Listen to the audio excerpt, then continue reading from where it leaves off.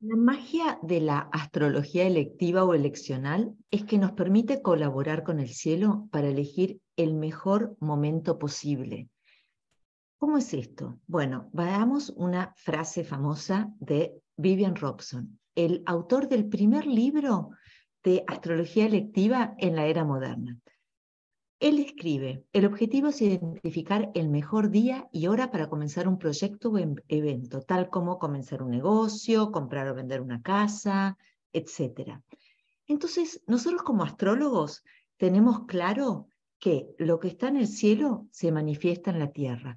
Por lo tanto, nosotros podemos mirar el cielo y buscar el momento adecuado para ese inicio del proyecto que nosotros querramos. Ahora, hay que tener en cuenta que una carta electiva bien hecha siempre está enraizada en una carta raíz o radical, que en la mayoría de los casos es la carta natal. Por eso es muy importante que cuando vos estás pidiendo una carta electiva, tengas a mano tu carta natal. Si esto no fuera posible, hay alternativas, pero el escenario, el mejor escenario es ese. ¿Por qué? Porque al mirar la carta natal, nosotros vamos a poder determinar si lo que vos querés como cliente, cuando vos pedís una carta electiva, está presente, está posible en tu carta natal. Y si los tránsitos, progresiones, direcciones primarias, revolución solar de ese año lo facilitan o lo dificultan, porque quizás no sea el momento para hacerlo. Quizás es algo que está prometido en tu carta natal, pero te convenga esperar unos meses o al año siguiente a la revolución solar siguiente. Entonces, esto es uno de los temas más importantes que muchos astrólogos modernos dejan de lado y es un enorme error. El tema de que una carta electiva bien hecha necesita estar enraizada en una carta natal. Te voy a mostrar un ejemplo. Este es un ejemplo que para mí es muy importante porque fue un caso de éxito. Este es un hombre de 25 años que se dedica a escribir contenidos y él quería elegir el mejor momento para enviar un contenido a una revista, a un medio extranjero, para que se lo publicaran. Era un medio extranjero sumamente importante. Entonces nosotros, empezando por, como siempre, la carta natal, miramos su carta natal, vimos que efectivamente es una persona que está llamada al éxito, obviamente dependerá de su actitud, de, su libro albedrío, si esta persona realiza o no su potencial. Pero en su carta natal, con tantos planetas en la casa 10, vemos que el éxito es una posibilidad concreta. También vemos que el regente del medio cielo, que es Saturno, está junto a Mercurio, por lo tanto, el éxito ligado a escrituras es algo que está también posibilitado en la carta. Por otro lado, vemos que partila el medio cielo tenemos a Neptuno y Urano, y justamente esta persona escribe sobre música, que es una manifestación típica de esa conjunción. Si nosotros tenemos en cuenta los tránsitos de ese año, en ese año Júpiter estaba transitando por Sagitario, que es la casa 9 de cuestiones que se publican y de lo extranjero para esta persona. Por lo tanto, este era un año idóneo para que él hiciera esto, estaba posibilitado por tránsitos. Bueno, entonces a la hora de elegir la electiva, empezamos por el comienzo. Cuando vos pedís una carta electiva, tenés que tener claro, primero, qué es lo que estás buscando, porque una carta electiva no puede cubrir 15 expectativas.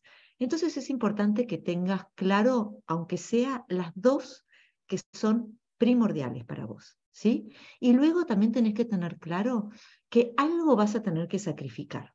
Esto sucede en todas las selectivas. Y por último, también es muy importante que tengas claro el marco de tiempo, porque si yo te consigo una electiva para que vos te cases en el registro civil un domingo a las 3 de la mañana, esa electiva no vale de nada, por más que sea el mejor momento del cielo.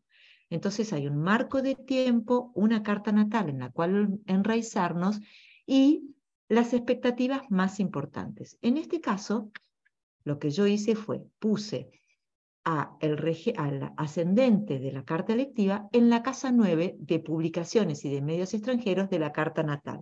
Y puse al regente del ascendente, Júpiter, muy fuerte por domicilio, está en su propio signo y además con fuerza accidental porque está en el ascendente. Este es un planeta sumamente fuerte. Además, el regente de la casa 10, porque finalmente esto tiene que ver con un anhelo de ser reconocido, de conseguir un trabajo, de brillar.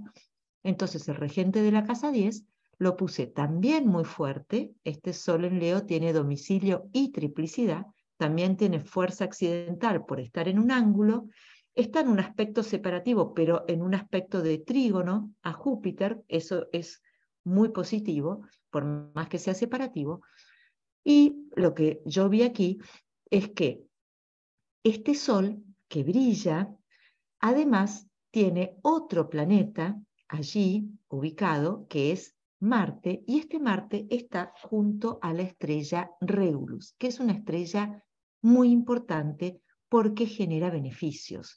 Tiene que ver con el brillo. Vamos a ver qué dice William Lilly con respecto a esta estrella. Entonces, en astrología cristiana, el famoso libro de William Lilly del siglo XVII, él dice que el corazón de león, que es el nombre que se le da a la estrella Regulus, cuando el significador o el regente del ascendente está en conjunción con ella, o cualquier planeta en conjunto al corazón de león, hace al nativo magnánimo, de condición generosa y civilizada, deseoso de gobernar, que en términos modernos o en esta carta sería de brillar, de tener autoridad, y tiene ambición de dominar a otros, que en este caso, otra vez, en vez de dominar a otros, sería ocupar puestos importantes o destacarse. Es la estrella de los reyes. Entonces me pareció sumamente importante la posibilidad de tener en el día de la electiva a esta estrella presente en su carta. ¿Sí? Esto me, me pareció genial. Ahora, como todas las cartas, como todas las cartas, hay cosas que tuvimos que sacrificar. Por ejemplo, la casa 2 está regida por Saturno, que tiene fuerza en Capricornio, pero ese Saturno está retrógrado junto al nodo sur y también a Plutón.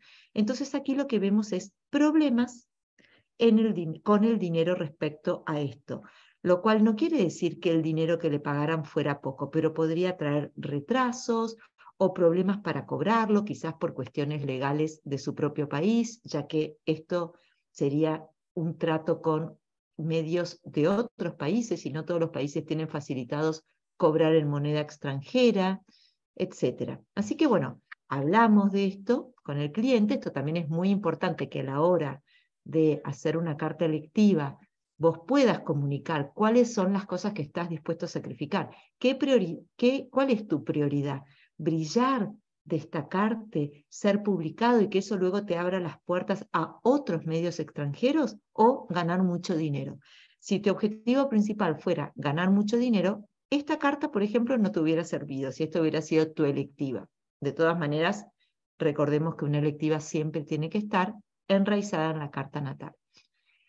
Bien, bueno, por supuesto que esto fue un caso de súper, súper éxito, no, solo no solamente lo publicaron, sino que lo publicaron en la tapa, cosa, la verdad, bastante poco frecuente para el medio extranjero, eh, ese, ese medio extranjero al cual él le había enviado el artículo. Así que este es un caso de súper, súper éxito.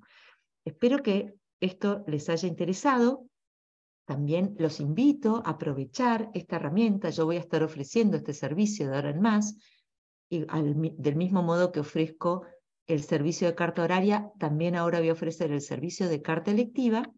Y recuerden, tener la carta natal, tener claro cuáles son las prioridades y tener definido un marco de tiempo y un lugar.